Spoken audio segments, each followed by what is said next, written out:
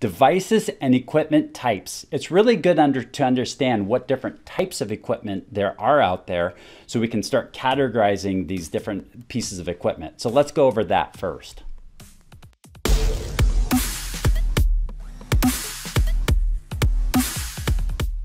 So first of all, let's talk about a node. A node is a connection point that can receive, create, store, send data along the way. So pretty much anything except for the media that the actual bits are going across. So in this example right here, we have a computer and a server. And over here, we've got another server. Then we've got devices in between.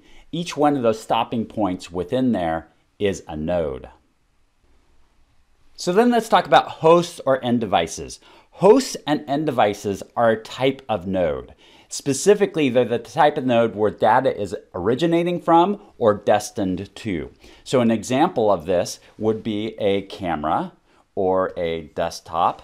Possibly it's a server, could be a printer, it could be a laptop, tablet, a copier, a, a phone, or a camera. So these are all devices where the data is being originated from or the data is that's the destination. So these are the hosts or end devices and it's just a type of node. So then there's IoT. IoT is a type of node. It's also type of host or end device. But the difference with IoT or the Internet of Things are these, devi- these are devices that have not been networked in the past, but are now networked. And so in the past, we have not networked our speakers, but now we have a lot of speakers that are networked. Uh, your appliances could be in that same boat. Uh, perhaps you have some lights that are controlled that connect to a network, uh, possibly a switch. So these are the things that were in the past, they were not networked, but now we're seeing more and more of that stuff come out. So essentially, uh, it's the smart home stuff. The smart home stuff is the Internet of Things. Another thing that we're networking more and more is things within industries. Uh, so you see a lot of stuff within factories are now being networked.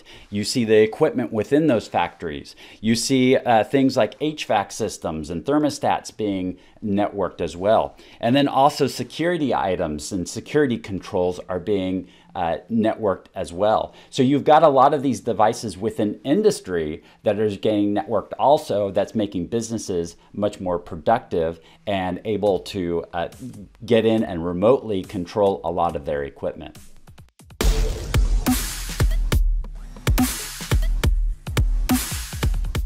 Now let's talk about client server. Client server is a little different.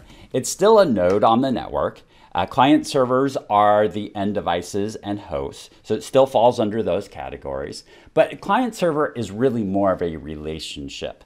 Client is something that they're requesting some sort of service, and a server is is uh, is going to fulfill those requests, is going to uh, fulfill the, you know some sort of need um, that that client is requesting.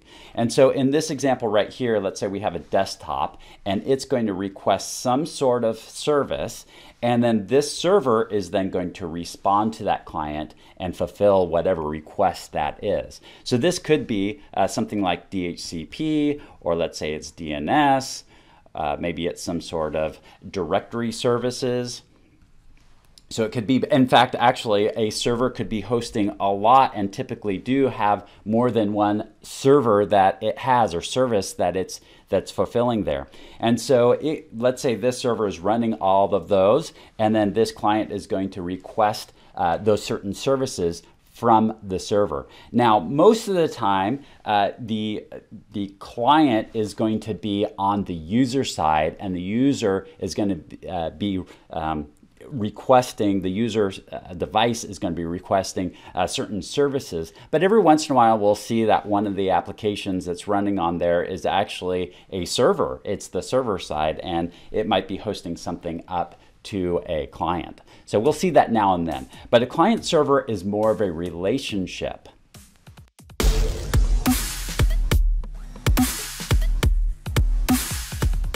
So, so far we've talked about a lot of different nodes and devices, hosts. Now let's talk about intermediary devices. Intermediary, intermediary devices are the things in between. if you like my videos, could you hit that like button? Because it really helps me out. Thank you. So it's still a node on the network, but it's the stuff that's really designed to be to be transferring this data, to get to pull in that data and then send it along along its way. So in this example right here, we've got a couple devices on here where their purpose is is to take that data, figure out where it's supposed to go, and then send it on along its way. Then we have network media. Network media is what's actually going to be transferring the data. That's physically going to be transferring the data from one location to another. So in our diagram here, all of these lines in between, those are going to be what the data is going to traverse across to get to the other side, and that's network media.